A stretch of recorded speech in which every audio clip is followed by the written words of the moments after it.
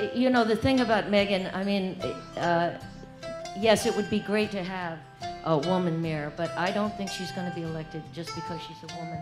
I think it's because she's the most qualified, her determination, her, her ideas, and what she will do for this town.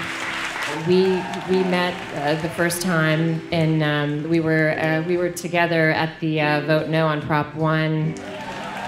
But it was really impressive that day to see Megan there, and um, I was like, "Who's this ballsy woman? She really cares about her neighbors, that she really cares about her community, and that she really has a sense of what is required to make Nashville better." I do love this town. We still got a long way to go. We've made a lot of progress in the last few years, but I think we need to continue that with by electing Megan Barry. Thank you.